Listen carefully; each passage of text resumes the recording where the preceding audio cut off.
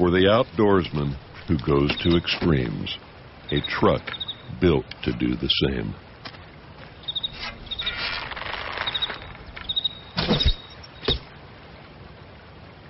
The new 2011 Ram Outdoorsman